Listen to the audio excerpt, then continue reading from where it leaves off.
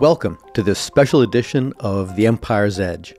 Instead of having a session of the adventures in the Brimroar Hills, really because our schedules around the holidays have been so crazy that coordinating all of our schedules to have another recording session was just too difficult to do. So we thought we'd take this opportunity to reveal a little more of the backstory behind one of the characters from those very unusual episodes the episode 33 and episode 34, The Enemy Eyes.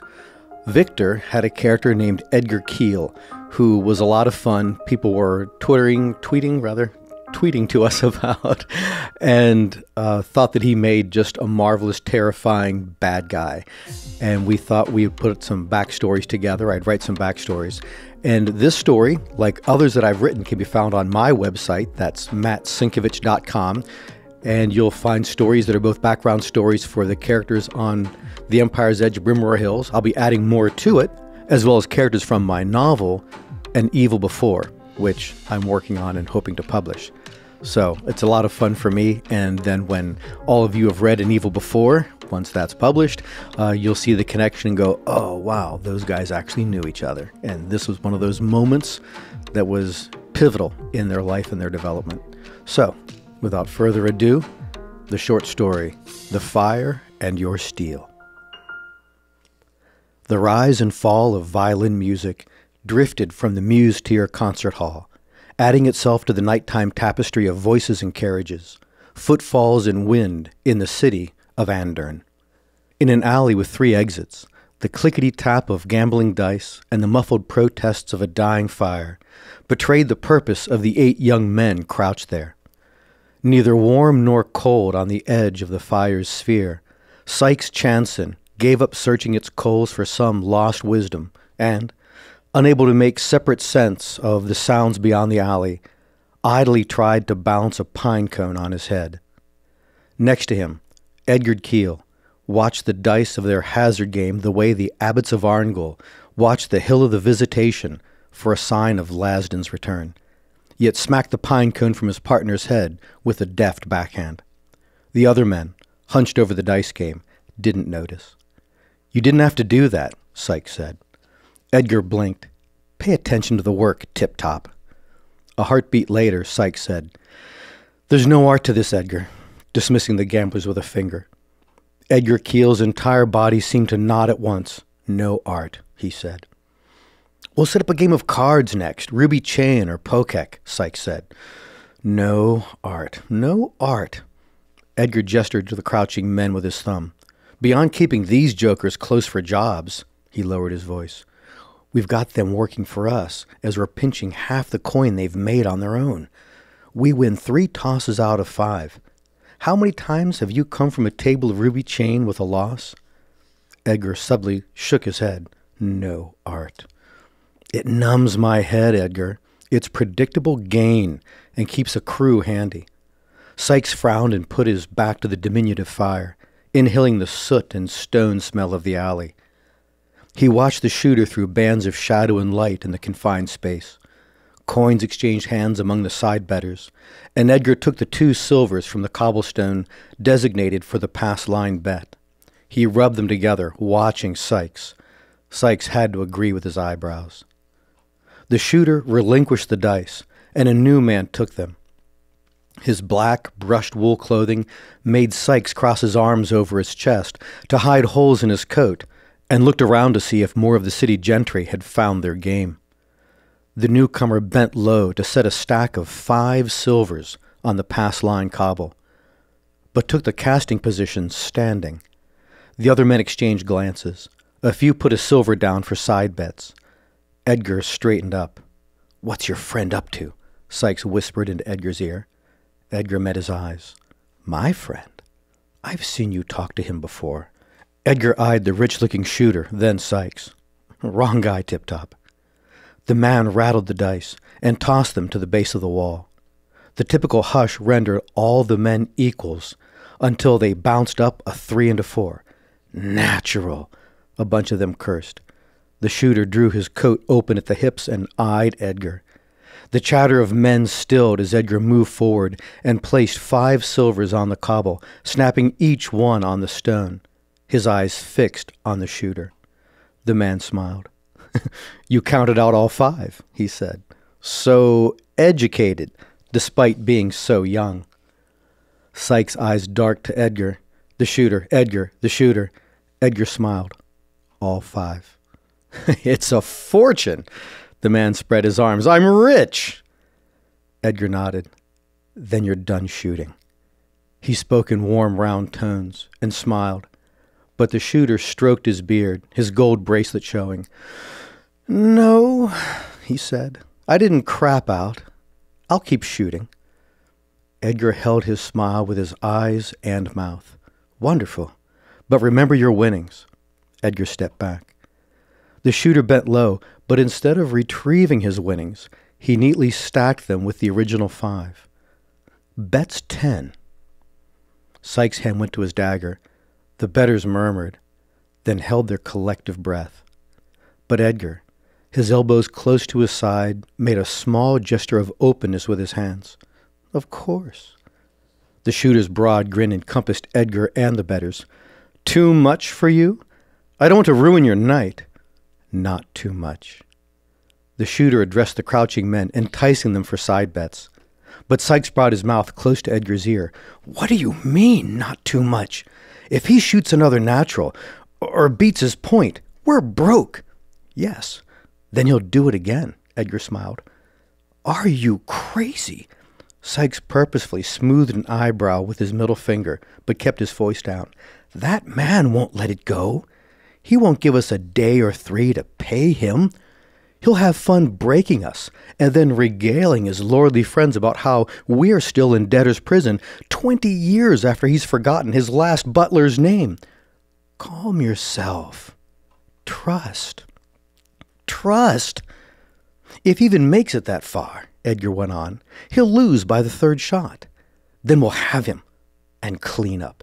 Clean up? Edgar, he won't notice he's lost. It won't occur to him to stop. Exactly. He won't care. He'll laugh it off and brag that he touched the dirty side of the city. We've provided a service for him. Uh, but shut up, he's ready. Sykes smoothed his eyebrow again and pressed his lips tight together. The shooters, laughing with the better, placed coins and side bets before taking his place. The dice rattled down to the cobbles as the alley held its breath. Everything stilled. Natural! Men shouted. Sykes eyed Edgar. Edgar nodded and rose to the balls of his feet. The between shooting chatter filled the alley and spilled into the streets. The shooter, arms akimbo, broad grinned, turned, the centerpiece of the game, reveling in the circle of men. People from the street entered the alley. Finally, the shooter picked his side bets from the ground and turned to Edgar and the pass line bet. The talk dropped to quiet. Curious newcomers waited, smiles on their faces, looking for a read on the situation. Edgar placed ten silvers on the cobble. The shooter waited until Edgar could meet his eyes. Too much? he asked. Not too much. I'm thinking about letting it ride, he said. Let it ride. Why not? Edgar asked. It's only five of mine, the shooter said. Fifteen of it was yours.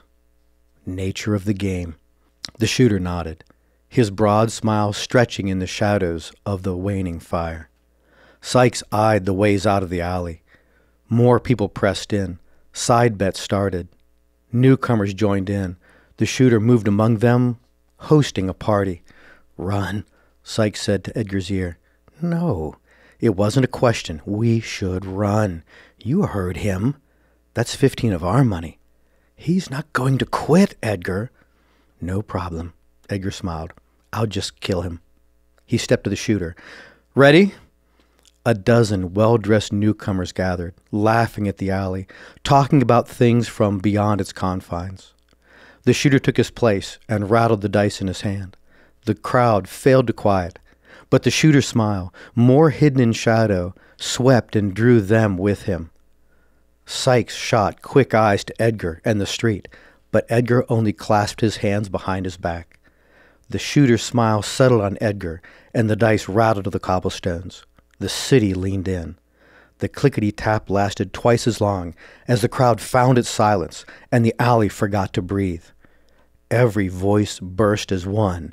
Natural! Sykes' eyes rolled from dice to cobble to face to exit, each blending into the next. His dagger came easily to his hand as voices and violins assaulted his ears.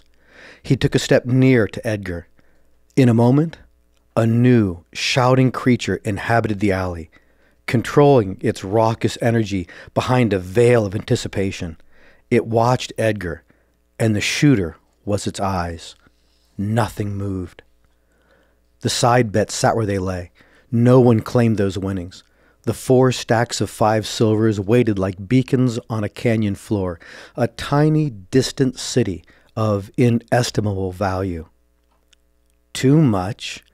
The shooter's grin spread like a smear in the near darkness. We've said those words too much so many times that that's how I've come to think of you.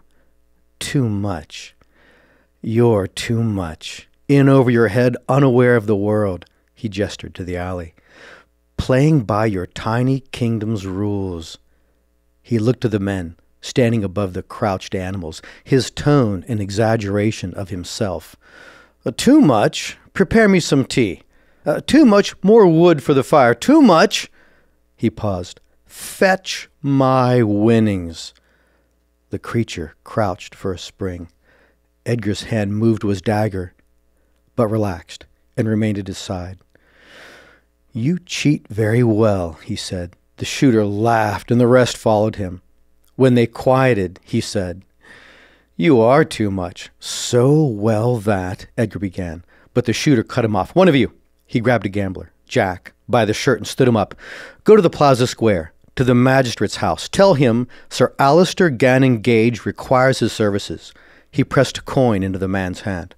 A gold, Jack said. Consider yourself elevated. Go. Lead him here. The man ran from the alley. Sykes' head swiveled. The choked alley cut off his breath. He brought up the dagger, a single steel finger selecting each man around him in turn, but the monster didn't back down. Sir Alistair Gannon Gage remained focused on Edgar, but inclined his right temple towards Sykes. he dies. But you, too much, you, I'll have brought before the next assizes. And when you admit your poverty before the court, I'll require it force restitution from you in the form of a finger or a toe for each of the twenty silvers left unpaid. He paused, considering. In a year or two, we'll undoubtedly meet on the street. I'll recognize you, of course, but our social circles will prevent our reminiscing. You certainly will look silly trying to scratch your ass with your elbow. Edgar surged forward, driving his knee into Sir Alistair's groin and simultaneously head-butting him. The nobleman backpedaled into a crouch, but stayed on his feet, his bloodied mouth baring clenched teeth. Sykes lunged all around with his dagger, stamping his foot each time, the shock of the sound slapping like waves on the alley walls. Men scattered, Sykes saw the gamblers, Eyes, Talker, Lover Chow, and Hunch, flee the alley in different directions. A boot hit the stacks of silvers and lofted them into the confusion. Alistair snarled and threw himself at Edgar, but even as he did, Edgar hooked his fingers and drew an esoteric circle with his outstretched palm. Fire erupted from his hand as Alistair reached him.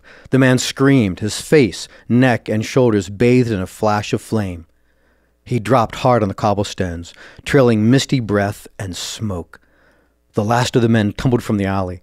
Only Sykes remained with his dagger still outstretched, and Edgar, whose smooth face and distant eyes betrayed nothing, and Sir Alistair Gannon Gage, unconscious on the cobblestones. Nothing moved. Sykes, his breath calming, saw a silver and picked it up, then another. Come on, Edgar, he said. Find some silvers and let's get out of here. But Edgar took two slow strides to Alistair and knelt by him. He examined the burns on the man's face, then carefully gathered his coat lapels in his left hand. Breathing deeply, he raised his right fist and brought it smashing into the nobleman's face. Edgar hit him again and again. Edgar! Edgar hit the unconscious man again. Sykes ran to him. Edgar, stop! With the burns and blood, it appeared as though the corner of Alistair's mouth had torn into his cheek. Edgar lowered his arm and nestled both hands on Alistair's neck. Sykes crouched next to him. Let's go! Edgar squeezed. Sykes' eyes widened as the unconscious man made muffled, wet, sucking sounds. Sykes grabbed Edgar's wrists as running boots could be heard out in the city. Let him go, Edgar, let him go. No, thank you, Edgar said, and continued to squeeze. The boots came closer. Sykes slapped and backhanded Edgar across the face and dragged him upright. They stumbled arm over shoulder out of the alley until Edgar got his feet. Split up, Edgar said. Meet tomorrow at the Trowel and Tankard. Sykes nodded and sprinted to the wrought iron fence surrounding the courtyard to the church of Uko.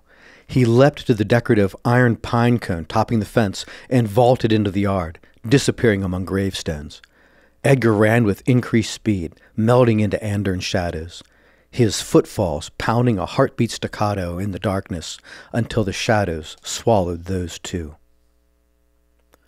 A day later, Sykes sat at his favorite table in the trowel and tankard, near the back door, with a view of the front and the street through the window. He sipped a flat beer and saw Edgar approaching the building. His heart raced. But no one paid attention to Edgar as he crossed the floor and sat. What have you heard? Sykes asked. Edgar leaned close across the table. Jack's dead. What? Our Jack? Jackass? What happened? No one seems to know. But he left the alley before everything went sideways, Sykes said, his eyes widening. Yeah, Edgar said, sent away by his royal arse. What does it mean? Alistair Gannon Gage must have had him killed. Why? Think about it, Tip Top. Sir Alistair must have come to soon after we left. Edgar, I had to stop you. You were going to kill him. Why wouldn't I? Anyway, Jackass brought the magistrate and his guard right to the alley and into Gage's hands. Uko's teeth, Sykes said, looking past Edgar at the window. Edgar sipped Sykes' beer. So, Gage had him killed. Wait, Sykes said. He wouldn't have killed him right away. His eyes widened again. Gage would have tortured him. He knows our names. Yes and no, Edgar said. Think about it. Even we don't know the guy's actual names. We called him Jackass, but did you know his real name? Sykes subtly shook his head. His eyes looked far away. Furthermore, Edgar went on, our connections lead to that alley. Beyond that, we don't have connections. Unless he's conscripted a wizard or, or shaman, Sykes said. There is that. What now? Sykes asked. We'll lay low. Avoid places we frequent, like this. And meet? Sykes asked. In two days. But where, Tip Top? Sykes looked out the window for a few seconds. Cran Park. Fair enough, Edgar said. Let's get out of here. He started toward the front door when Sykes caught his arm. Let's go this way. Sykes led them through the back door into an alley. He paused at each corner leading to the street. He saw a body face down in a pile of garbage. The two men froze. When nothing moved, Sykes motioned for Edgar to close along the wall while he slid up the opposite side. Sykes crouched by the body without touching it. Edgar remained at the closed door, watching both ways. Who is it, Tip Top? Edgar asked. I don't know. Let's get out of here. It has nothing to do with us. No, Edgar said. Roll him over. It could be important. Sykes shook his head, but complied, rotating the body, but quickly let him fall back. What's wrong? Who is it? Edgar asked. It's Hunch. What? How? Sykes looked up and down the alley before lifting the man's coat, feeling around. Single wound, he finally said, through the middle ribs on the left side. Edgar shook his head. That's not a guard's wound, Tip Top. No, Sykes said. It's too precise. He held up a coin pouch. Edgar kept shaking his head. This wasn't a thug or a cut purse, Edgar. It was a proper assassin. Sir Alistair? Edgar asked. Who else? Sykes said. But how could he set up a contract that fast? And how could someone find us so fast? It hasn't been, what, ten hours since the alley. I don't know. Wait.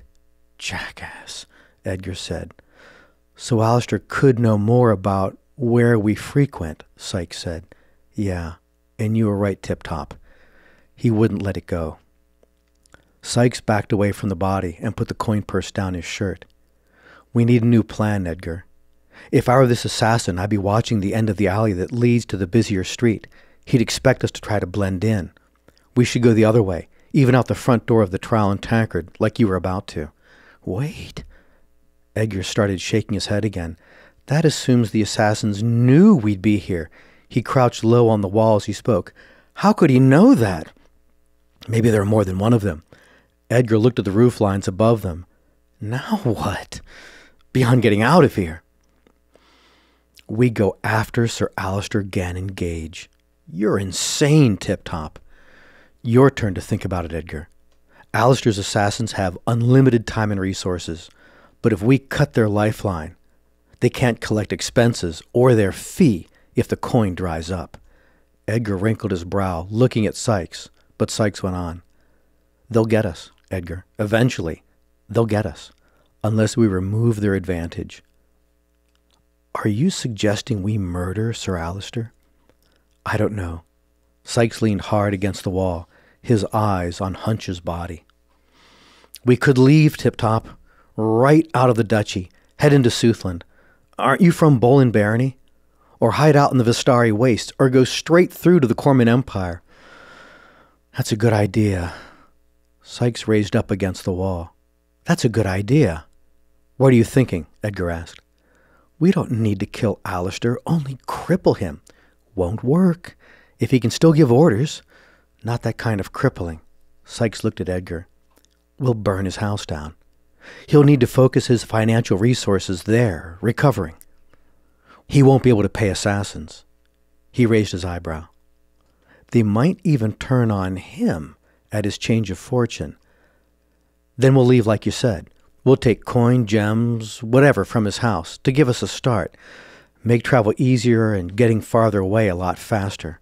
This all makes sense to me, Edgar said, nodding.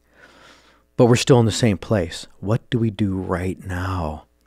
Sykes' eyes searched for something not in the alley. Finally, he said, You go out through the front door. Make your own way. I'll go out the other end of the alley.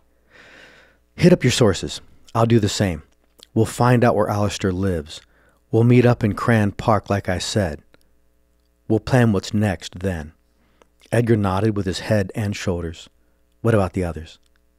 What others? Sykes asked. Eyes, Talker, Chow, Lover.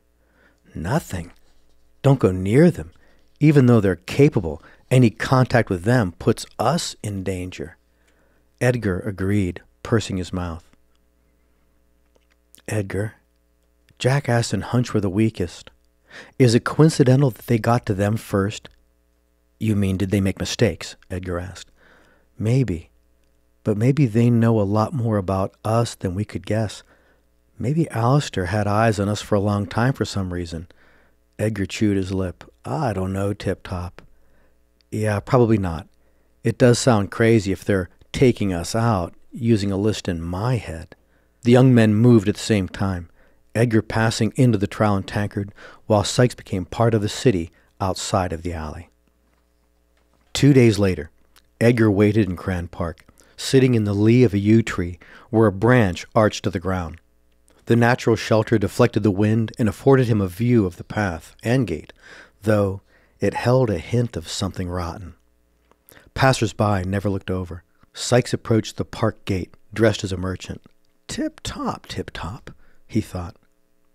Though his peers' eyes washed over everything, they avoided the area of the yew tree. Yet Sykes scratched behind his right ear with his left hand, the sign he'd spotted Edgar, but walked away down a path. Ten minutes later, Edgar wondered if the man had figured something and fled. It's getting worse, Sykes said from the other side of the tree. Edgar clenched his teeth before measuring his voice and calming his breath. I could kill you for sneaking up on me that way. Sorry, I thought you knew I was here.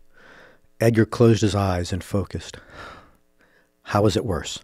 Chow and Lover are dead. Edgar didn't hesitate asking, How'd they die?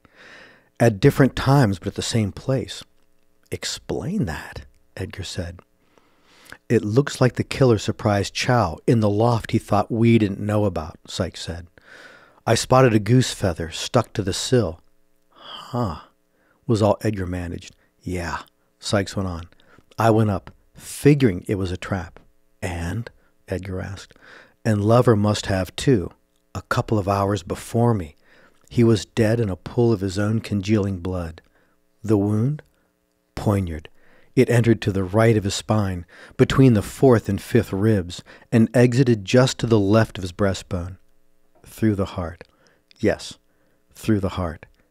Chow was near the window, where the feather was stuck with wax. His fingers had hardened wax on them, Edgar. That's strange. Yeah, he was putting up the danger signal as he was being stabbed. Same wound? Sykes nodded his head. Same wound. Chow must have known they were after him, and he put the signal up, not knowing one of them was in the room with him? How could that be, Edgar? So, what then? Edgar asked. Then the killer waited for one of us to show up. And that's what makes this even more bizarre. Lover would have had to walk right past him to get stabbed in the back. How could that happen? Chow should have smelled someone in the room, and Lover always knows who's around him. Nothing can be done about them now. And why were you there at all? It's not a place I frequent. I thought about breaking in and using it myself, Sykes said. They sat in silence for a minute, two sides of the same tree, until Edgar said, Any luck? None. Sykes said. I couldn't press my sources without giving myself away. You? I got it. You got it? You know where Alistair lives? Why didn't you say that? Never mind. How did you get his street address without giving yourself away? Never mind. He owns a house at the corner of Keaton and Kent Streets, Edgar said. So we get in there, Sykes said. Toss it for anything pocketable, then burn it down. Sounds like a plan. What about security? Sykes dipped his chin, then shook his head. He's not thinking defense. It will be minimal, easy for us to get around. And if we encounter him in the house? Edgar asked. The same as his guards. We'll have the drop on him so he can stay out of sight. Let him walk by, and we follow the plan. Follow the plan, Edgar said. All right then. What's the next step, Tip Top? Rendezvous at Keaton and Kent tonight. Tonight? That's not a lot of time to get ready. What's to get ready? Sykes asked. No, you're right, Tip Top. Hit him quick and hard while his net is cast wide and deep in the city, Edgar said, only slightly aware of Sykes' departure. Hours later, Sykes knelt in the near darkness behind a wall, watching the palatial corner house at Keaton and Kent. Warm light in a few windows offered possible locations for Alistair and flashpoints for fires.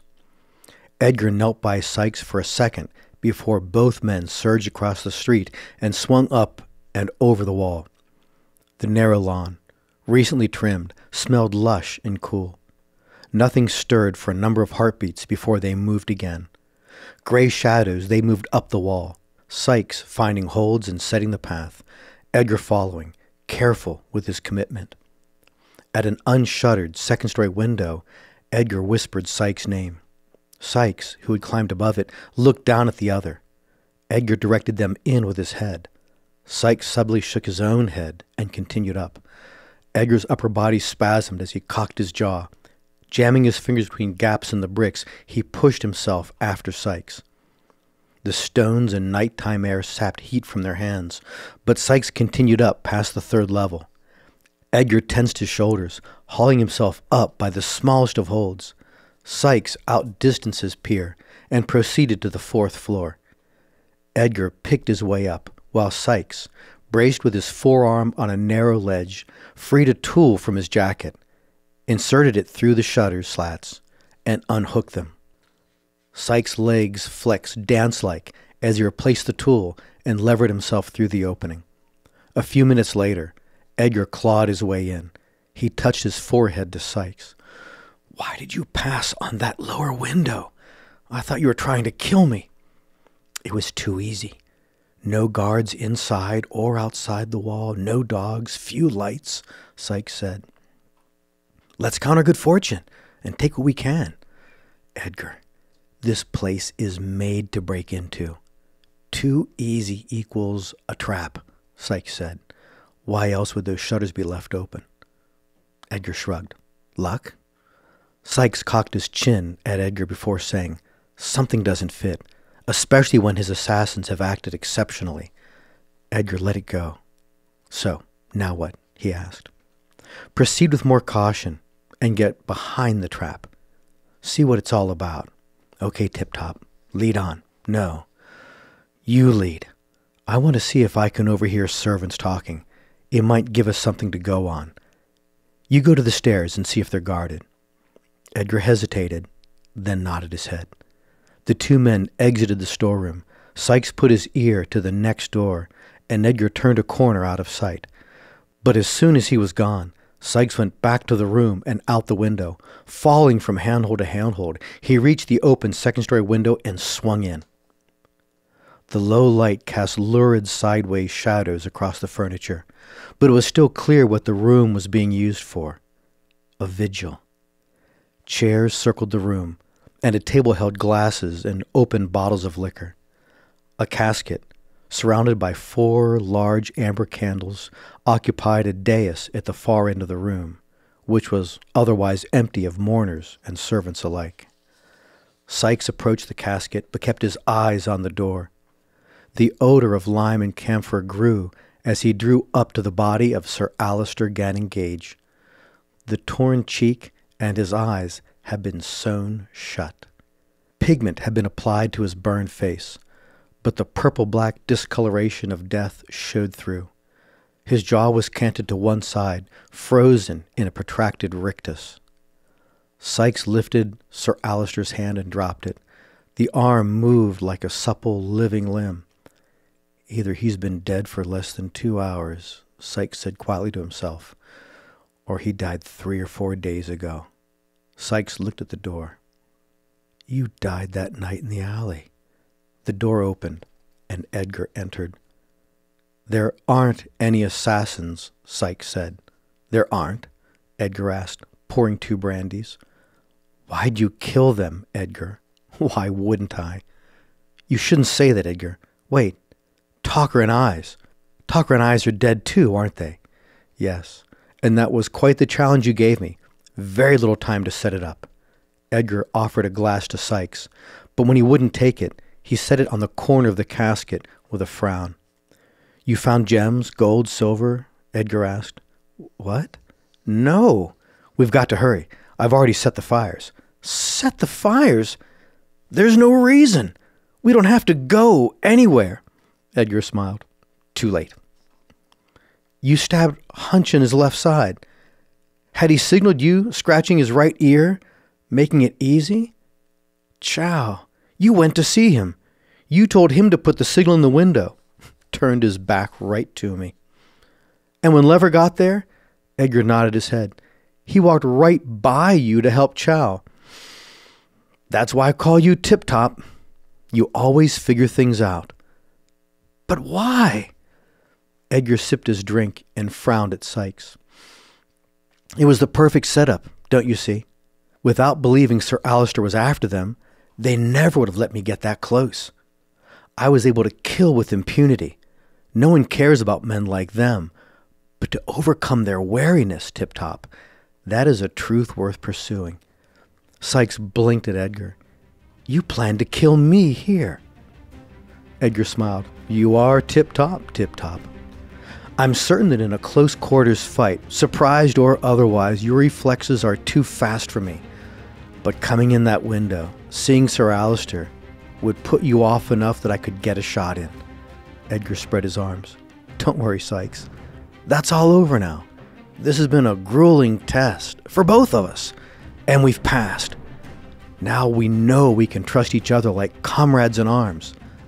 Sykes squinted at him. I'm no murderer, Edgar. Here.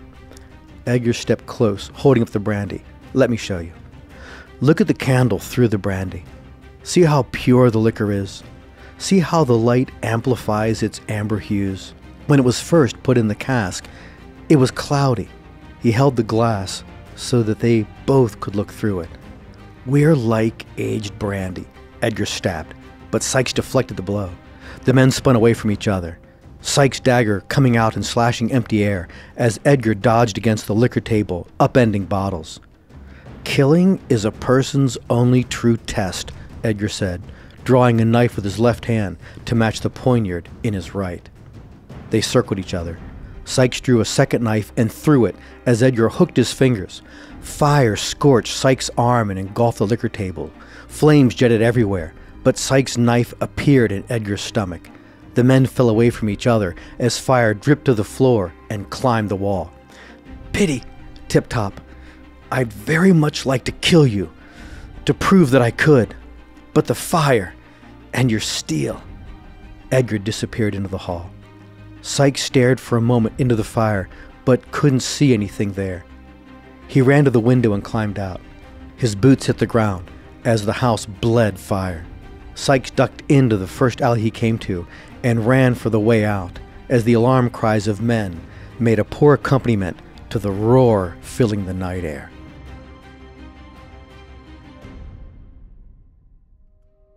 Thanks for listening. Find more stories like this on my website, mattsincevich.com. And remember, tune in next week for the next episode of The Empire's Edge.